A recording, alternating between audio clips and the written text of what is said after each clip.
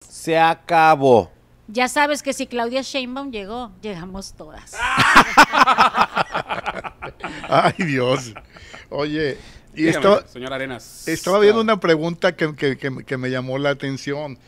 ¿Por qué los jóvenes no quieren tener hijos? Ayer estaba leyendo un- el reportaje ese que me, que me, llamó, me llamó la atención. Nomás saca cuenta. Sí, dicen que en, el, que en- que en- que- que en el 1960 el promedio era 3.3 hijos por pareja.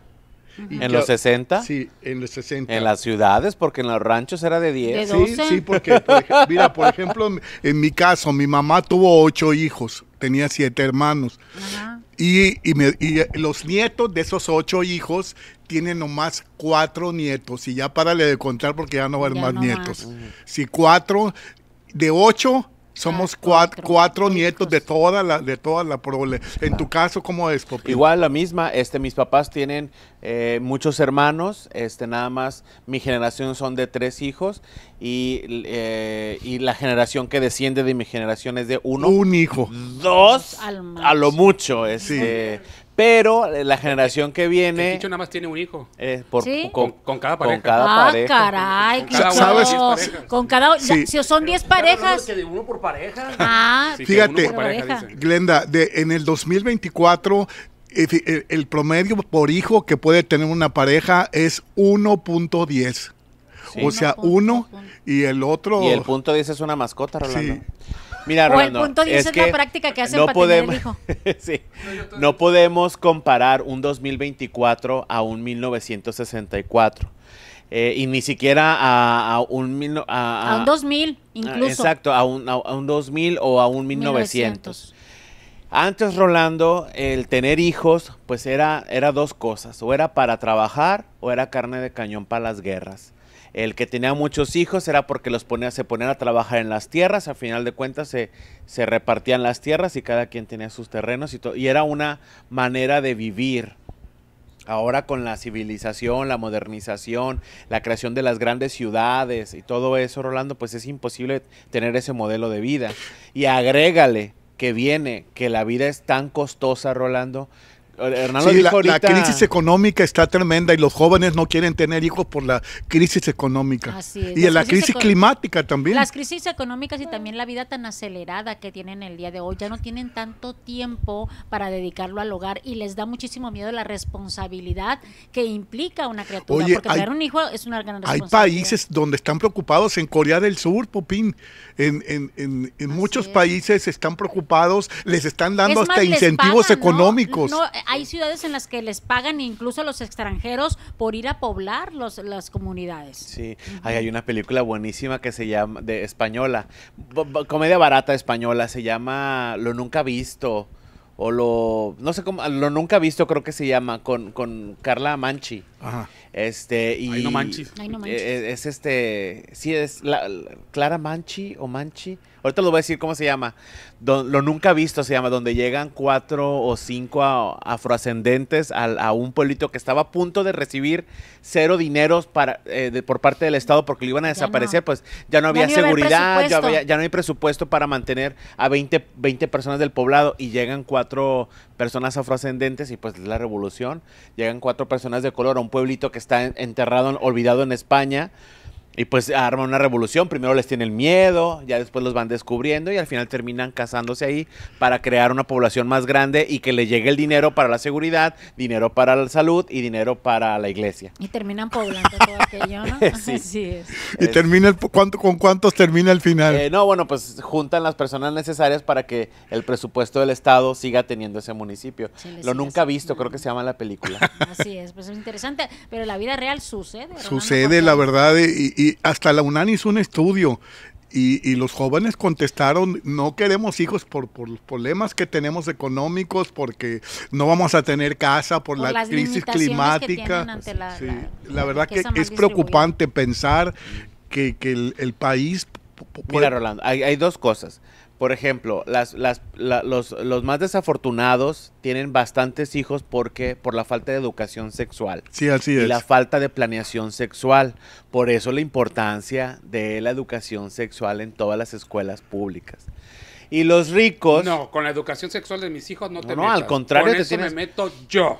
Ahora, y ahora tienes a los, a los, a los ricos que pueden mantener, como la Bracamontes, que pobrecita me parece que es violencia. Pero ella lo, hizo por tener un varón. Rolando, que tiene cinco Ro- hijas, Ro- pero está esperando al varón Sí, todavía. Rolando. Pero, pero eso, No pero que la otra sí, le- sí le dé un varón y yo Pero, oye, es, es preocupante, Rolando, que una mujer es sumisión total. tenga más de seis hijos, Rolando. Es, Por es buscar el varón. Oye, la ex conductora de Ventaneando, ¿cuánto tiene? También cinco. Inés Gómez Mont. Inés Gómez Sí, Mont. cinco, se me hacen Cinco, poco. Sí. Se me hace que cinco. son más, ¿eh? Es Sí, que pero porque han salido triates y- y-. De su otro matrimonio. Sí, Sí, pero han pero salido. juntas todos, tampoco nomás son Sí. cinco con los Cinco, dos. cinco cinco. con todos. Pero ¿no? es que tiene triates, hermano. Es que esa, esa es otra cosa. Sí. Terminan embarazándose arriba de los 40 años, 40 y tantos años, Con y, y se someten a un tratamiento y todos los tratamientos son multiembarazos.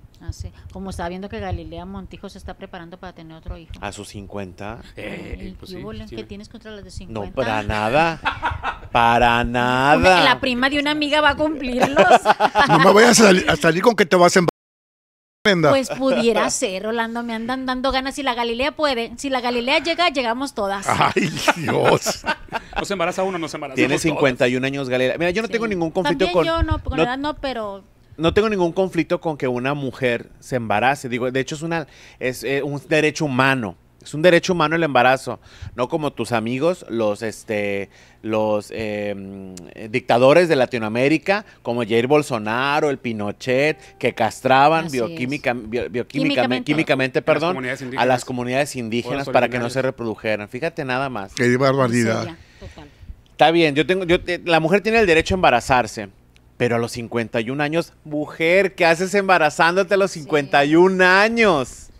La Dime. libertad que esto ya implica cuando llegas a una edad en la que ya definitivamente estás por gozar muchas cosas Sí. que a lo mejor no te permitiste por estar, eh, no digo sumida, pero sí entretenida o dedicada a hacer y formar la familia. ¿Qué hace Al Pacino teniendo un hijo a los 84 Sí, sí, años la verdad, de edad? lo de Al ¿Qué Pacino pasa, se, Al Pacino? se pasó de la raya. La novia tiene veintitantos Bueno, años. Ahí fue no planeado porque supuestamente. él No sí- planeado por Al Pacino, la novia sí. Bueno, supuestamente él, él es este. Él siempre se había asumido como infértil. Y por eso le hizo la confianza tantas décadas. Fíjate. De repente dio el, chi- dio, el- dio el- dio el chipote. Incluso pues se podría hasta pensar Milagro. Que le ayudaron. que le ayudaron. Por eso te digo no, milagro. pero ya se hizo la prueba de ADN. Y es de Al Pacino. Fíjate, miserable todavía ¿Qué pasó?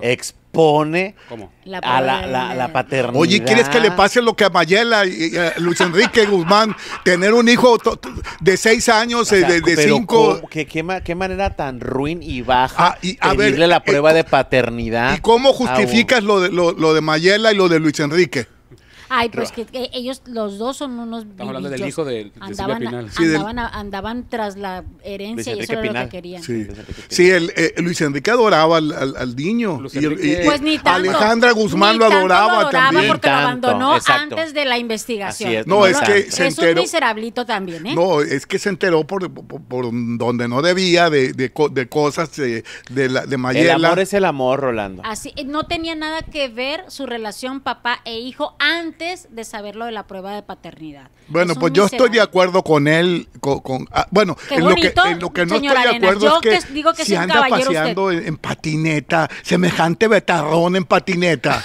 Ah, Ay, caray. Dios mío. Me disculpas, pero tú No cuando compras una patineta. patineta, Rolando, te dice recomendable de 3 años hasta 99. ¿Cuál es el problema? Yo, yo no he visto gente, gente, Yo gente de, sí. mi- de mi edad a El pasear en patineta. ¿cómo se llama? No, Eh, Luis ¿Cómo se llama no este? tu edad, Rolando. Sí. No. No, pero yo lo vi en patineta. Rolando. Digo, no puedo creerlo. Aquí, aquí ya mezclamos todos los temas.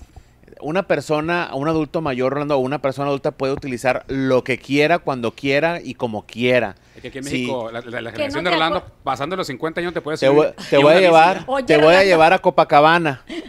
Te voy a llevar a Copacabana, donde los adultos mayores de 60, 70 andan en motopatines eléctricos. Como si nada, ahí ves a los, ahí ves a los, a los jubilados de, sete- de 70 años arriba, porque allá tienen eh, ciclovías, ¿no? Entonces ahí se suben a la, a la- a la eléctrica y andan como si nada. ¿Cuándo me llevas para prepararme? Uy. Vámonos en carnaval. Dice que vámonos no lo mismo agarrar un patín aquí en el malecón de Mazatlán. Sí, no, es que No. la- Además, Rolando, que no te acuerdas que desde que éramos chiquitos decía tu abuela en patines, o sea, desde entonces se subían los patines las abuelas. no, la verdad, y, y yo, repruebo. realidades. Ya- ya Oye, repruebo, una persona mayor tiene preocupaciones más graves que andar en patineta. Él no tiene la vida garantizada, se va a quedar con parte de la de herencia de Silvia Pinal profesional que Y no va a trabajar. Nunca ha trabajado. Tiene pensión de mamá. Así es. Regresando a los hijos, Rolando, es muy difícil tener un hijo ahorita, Rolando. Es un sacrificio Sí, yo, espantoso. yo sé que es un porque, sacrificio. ¿Sabe? Porque, la, porque han, han lucrado con un derecho, que es el derecho a procrear. Oye. Nos han enseñado tu generación, Rolando, más que nada tu generación, Oye. a que debemos de sacrificar nuestra recreación y nuestro desarrollo profesional por, por los hijos. Tú cuando naces, Rolando, tienes derecho a una vivienda. Es carísimo sacar una vivienda. Tú cuando, cuando, cuando naces tienes derecho a un salario y un trabajo digno. Son miserables. Que te los alcance salarios. para una canasta básica. Exacto, te debe, tu salario te debe alcanzar para comer, para vestir, para vivir y para recrearte. La recreación no tiene por qué estar peleada con, con tu salario, con tu modo de vida. O sea, yo no voy a tener un hijo, pero voy a sacrificar esto. No, no tiene por qué ser un sacrificio. No, las mujeres no tienen por qué sacrificar este, eh, su carrera profesional por tener un hijo. vida ¿No? personal. Fíjate que ayer No hablé con mi... con- con- No no, no, no, sí, me- sí me llamó Muy la atención. Ayer, a- ayer me llamó la atención eh, de mi hijo, de- el menor, no tiene, no tiene familia. Entonces me sale muy No, sí tiene campante, familia, no quiere tener. No hijos. quiere tener hijos. Me me salió con que... Te dijo que no. Sí, dice, no, no quiero tener hijos, ni mi pareja tampoco. Ay, dice, hijos míos, no oigan eso. Sí. Yo quiero ser abuela. sí, no, a va, ser una abuela bien divertida. pues lo, lo vas a cuidar tú. No. No, no, no, no, no, no, no, no. Una cosa es que quiera tener hijos para verlos. ¿Tú los vas a mantener? Bueno, pudiera ser un poquito, les voy a Pues respeta a tus hijos. No, yo quiero nietos, ah, que a ver, bueno, todos escúchenme, por y me sale muy campante con tener nietos. Me sale muy campante que en noviembre se va a ir a París, a Roma y a Barcelona con la pareja y que ningún ni él ni ella quieren saber de, de hijos. Qué padre. Qué, Dije qué- yo, qué vida. Me, quedé pensando, qué horror, pero pues si quieren vivir así, Ya pues sé, eh, pues, eso. también yo pienso igual que sí. tú, Rolando. Yo sí quiero nietos. Tengo ahorita una perrita que es la hija de mi, mi hijo y su novia, pero yo quiero de, de, de, de ¿Cómo de veras. veras? De de veras. Yo no cuido perritos, yo sí cuido nietos, pero un ratito nomás. Tampoco es de que me voy a quedar en la casa cuidando. Luego mis conciertos. Luego, no. ¿qué- sí, ¿qué va a pasar con tu vida frívola? Ah, mi, mi, vida. Tu vida libertina. Mi vida Frívola. social y encantadora. que Frívola tengo. tu Shakira, que la canija Pasó. se quiere cobrar lo que pagó de impuestos en España, Sí. se lo quiere cobrar con nosotros en Latinoamérica. Altísimo, los boletos. lo- Altísimo. Los La boletos. mujer Qué quiere seguir facturando. Las Sí. mujeres facturan. Mira qué dicen. chistoso, Latinoamérica va a pagar su deuda en ¿Y Hacienda. dónde va ese dinero? ¿A, a España? A España. A la bolsita O sea, de, de y- y Shakira. el- De España, De Rolando lo España. debe el Acu- dinero. acuérdate que debe el dinero de nosotros impuestos. otra vez. o sea, la historia se repite. Sí, o sea, Ahí vamos, ahí vamos a rendirle cuenta a los españoles a los otra españoles, fíjate nada Nuestro dinero va a más. ir al fisco español. Nos va a quitar Shakira el dinero a los latinos para ir a pagar a España lo que deben Hacienda. Ni me andes mandando Qué a cubrir el concierto, ¿eh? Pues la gira que se llame La Malinche entonces. Oye, y Eduardo Verástegui que la volvió a hacer en Eh. Telemundo, volvió a hablar de la, de la, de la, de la de Wendy Guevara, volvió ¿Cómo le a... No de la Wendy, habló de Wendy Guevara. Bueno. O le digo Lai o le digo él y de todas maneras me regañas. Entonces por fin dime cómo le digo. Cuando te he regañado. Dile, Wendy Guevara. ¿Cuándo te he regañado? Contexto, ¿qué pasó? Pues el pues- idiota se presentó Ah. en un programa de televisión de chisme y pega y corre y pega, no sé cómo se llaman, donde lo cuestionan acerca de lo que dijo en redes sociales de que había ganado otro, Otro hombre, la, la La Casa de los Famosos. Ganó Wendy Guevara y el Este, segundo lo, lo ganó Mario O sea, Besares. no, no podemos darle reflector a una persona que ejerce violencia, eh, transfobia. Es un vato, dijo. Este, no, o sea, y todavía, o sea, no. Sí, le dijo, ¿a dónde va? ¿Al ginecólogo o va al, al urólogo? A ver, es grotesco, aclárame. es grotesco, la verdad. Y me, me- me parece raro porque es una persona de A mí fe. siempre me ha parecido raro. Es una Sí, persona además. de que, que está en la vibra con Jesucristo y con su y con la Y iglesia antes y el de su amor. vibra con Jesucristo, Pero bueno, hola, tenía oye, una vida bastante alocada. Copín, pero el problema es que tiene pene. ¿Cómo justificas eso? Tú, Rolando, no debes de preocuparte ni justificar. Las mujeres no tienen pene. hay mujeres que tienen pene, Rolando. Las personas hermafroditas. Ah. ¿Cómo, ¿Cómo solucionas eso?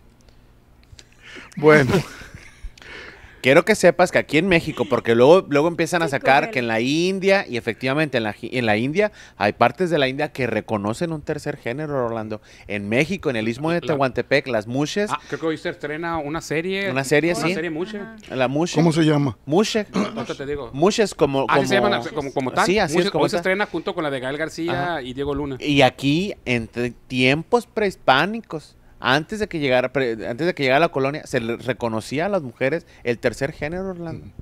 O sea, no es algo nuevo, no es un invento. O sea, no, no, no. es una moda. No, no es una moda. Nadie, nadie dijo, nadie se levantó en la mañana y dijo, yo voy a, yo voy a querer ser un ter- tercer voy a inventarme. O sea, no es un invento, Porque Rolando. o sea, que este, Eduardo Verástegui no vibra con Jesús, no vibra con el rosario que nos hace rezar Claro todos los no. días. Él, ante todo, una, una religión que no es lo mismo que la espiritualidad. Oye, y Y yo- quiere ser pre- Fanatismo. Pero y aquí- fanatismo. aquí hay una diferente. pregunta.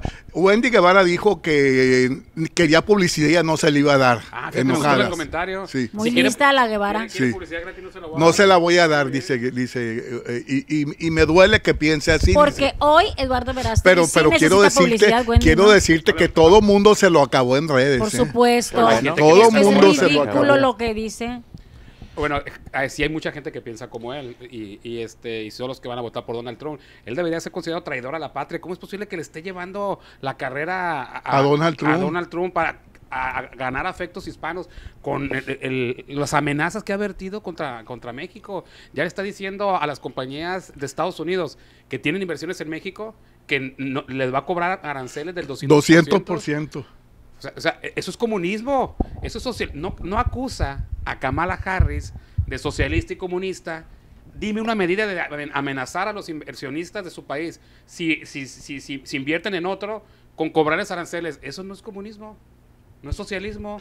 Oye, Tanto que y quiero decirte que va arriba Kamala Harris, ¿eh? con tres puntos va arriba de... es muy poquito. de Trump. Es Sí, muy poquito. 46%. Sí. eh, Porque Trump los democráticos 49. de Estados Unidos que tienen, e- ellos sí pueden señalar las democracias de Latinoamérica y de otros países, pero su país no es para nada democrático, Sí. no es voto uno a uno, Esos tres puntos que tiene de diferencia el, el voto colectivo colegiado se va a disolver. lo puede disolver. Y ganar este el, el- Donald el- Trump. La cuestión electoral está hecha para que más veces gane el Partido Republicano.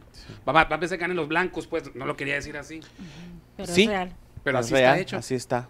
Es muy probable, vamos a tener que esperarnos hasta el 5 de noviembre, creo. Tendría que tener unos 8 o 10 puntos de ventaja. Fíjate, ¿cómo es posible que un partido tenga que tener 8 o 10 puntos de ventaja para que pueda ganar? Con un punto debes de ganar nada más. Sí. Eh, Qué el- barbaridad, qué terrible. en una democracia, No hay. ellos con todo su estatua de libertad no tienen Porque el voto no vale lo mismo No, de, no de vale los lo negros y los blancos. No, no No, vale no. lo mismo. No, No, no, no. los negros valen Se menos escucha- el, el se voto. escucha, Bueno, pero hay, está ciertos diseñado. estados. Así está hay- diseñado. Déjame explicarte nada más. Estoy de tu lado, estoy contigo. hay ciertos estados, hay ciertos estados de, de los 50 estados que tiene Estados Unidos, donde su población es, por lo general, son afroascendentes o fro- afrodescendientes o su latinos. su Casualmente, esos estados, pues valen menos, ¿no? Casualmente. Qué barbaridad, qué, qué terrible lo, lo que está pasando en Estados Unidos. Exactamente. Entonces, Kamala Harris, tres puntos se le disuelven en, el voto colegiado. Tiene que tener unos 10 puntos así holgados para probablemente ser la ganadora. Bueno, vamos a anuncios. Lo que usted diga, Supremo Comandante. Estás escuchando lo mejor de la Chorcha 89.7. Pontexa.